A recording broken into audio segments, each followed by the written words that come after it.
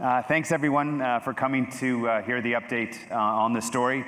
Um, as usual, it's been a very another busy year uh, for our team. Uh, I'll be talking about Crawford, but some of the big developments this year are in terms of the Timmins Nickel District. So I really want to emphasize, you know, that Crawford on its own is one of the world's largest nickel sulfide deposits. But what we're unlocking here in Timmins is really the world's largest nickel sulfide district uh, that should be the new basis for nickel sulfide supply uh, for the next 100 years uh, or so.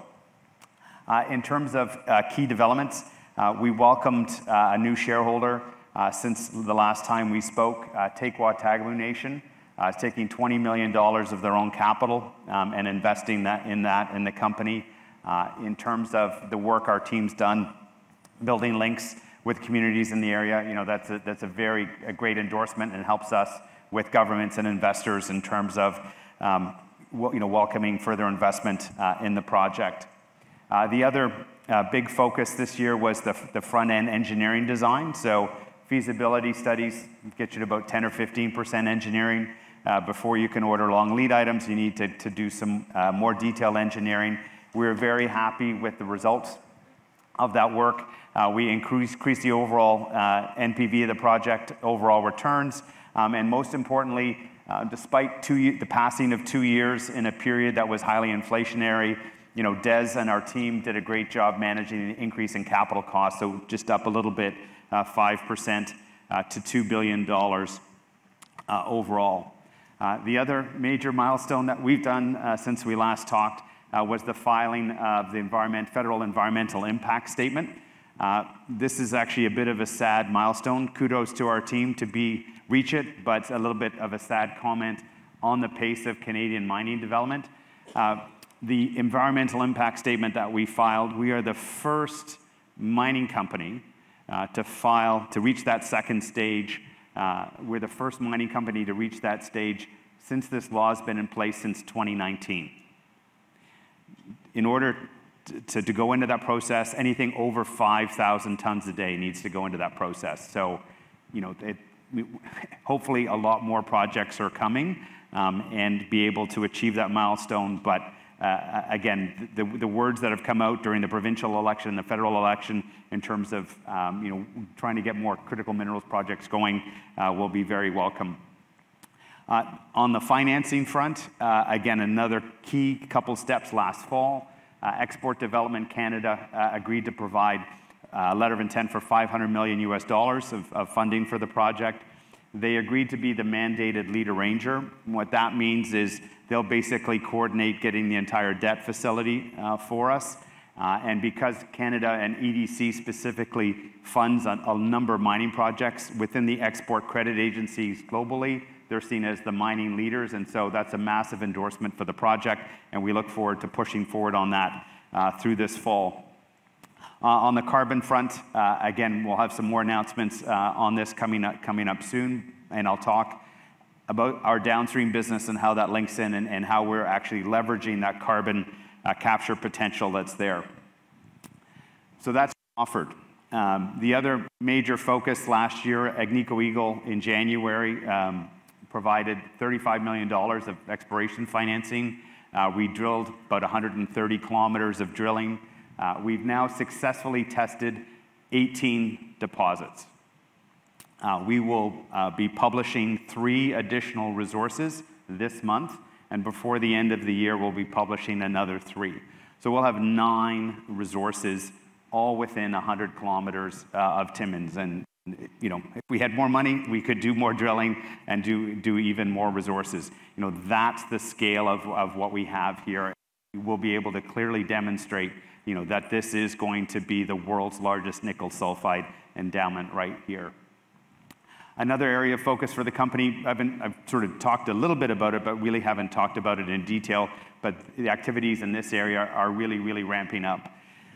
Uh, the nickel business has been historically, you know, held captive to some extent by the oligopoly uh, of the historical, you know, handful of historical nickel smelters. Um, and so we'll be building our own nickel processing plant. We also produce a nickel chrome magnetite product uh, that we'll be looking to convert uh, into stainless and alloy steels. I've been spending lots of time with European and US uh, steel companies who are very excited to have low cost, low carbon, uh, intermediate steel products that they can feed into the existing distribution networks. Um, so again, that's going to be another very exciting step for the company. I'll talk about it um, in some more detail. Uh, nickel, uh, the death of nickel um, has been greatly exaggerated. Nickel demand continues to grow at 9% a year. You know, that's literally nine Crawfords per year that the world needs, and it's going to continue at that pace for a period of time. Uh, Indonesia is now clearly the OPEC of nickel. The one country on their own controls more of the nickel market uh, than OPEC did of the oil market at its peak in the early 1970s. Um, you are going to see them, and, and, we're in the midst of the first rounds of the battle right now between Indonesia and the Chinese producers in Indonesia about managing ore supply and pushing prices higher. So they've been a negative impact on the nickel market for the last 10 years. Now that they dominate global supply, it's in their country's interest, and you're going to see them, you know, push um, push prices higher, which will be hugely beneficial uh, because the deposits that we've unlocked and some of the other local companies have unlocked in this area are really the only new nickel, nickel discoveries globally outside of Indonesia. Um, again, you know, what's, what's contributed to our success, success to be able to rapidly advance all these projects, you know, are the people in this room. Uh, you know, Timmins has this massive endowment of, of consultants suppliers and so forth that you know everything we need to do to advance the project you know is is is in this community. And so you know thank you for helping uh, make the company a success. Sorry i'm moving around too much maybe. Um, again the scale of the operation uh, just to, to remind everybody you know first quartile cash cost producer you know i hope my predecessor i don't think it'll be because i'll be 110 at that point um, we'll be talking about 50 years uh, of, of operation, like the, the Kidd assets. Um, and what'll anchor it is the fact that we're in the lowest quartile of the cost curve, lowest carb decile of the carbon curve. Uh, we're the second largest reserve, and we'd be the third largest nickel sulfide operation globally. Again, geopolitics being what it is today, unfortunately, you know, we're the Western world's, we'd be the Western world's largest nickel sulfide operation. Oh. The sound system is very excited about that as well. Because um, those other two operations are in Russia and China, and uh, I don't think they're going to be our friends again anytime soon. In, in terms of the district scale potential, the, you know, the great thing with these deposits is the geophysical footprint gives you 70% of the concept. So, you know, our geological team, Steve Balch, Edwin Jen, uh, who's here, uh, you know, basically you know, came up with this targeting approach. We used the free data from the government um, and identified 20 targets in the region. Uh, we've drilled 18 of them. 10 of them are larger than Crawford. That's one thing, you know, in terms of to take away from this uh, uh, presentation. Crawford is not our best project. Crawford will be our first project, um, but there is no one in our company who believes that Crawford is the best deposit. And I'll talk about some of the metrics of some of the other, other deposits that here. When we really talk about having the potential for five or six mines in this area, basically cutting and pasting what we do at Crawford, you know, that is, you know, what our company firmly, firmly believes. Uh, we bumped into some nice high grade, uh, and we expect to do that as we uh, continue to drill uh, around the area. But we had a 98% hit rate in terms of drilling. You know, what we want to hit and what we hit. We've been able to do that 98% of the time. And again, that really underscores you know, how, how helpful the geophysics is. As I said, we're going to have a total of nine resources um, in the area. You know, most junior companies have one good project. Most majors um, have, don't have nine projects in one particular commodity, but that's what we're going to have at the end of this year um, here in the Timmins Nickel District. Just very visually, the, the, the, the open pit on the right is what Crawford looks like. Uh, the pink is the target geophysical footprint. The resource and reserve clip very nicely to that.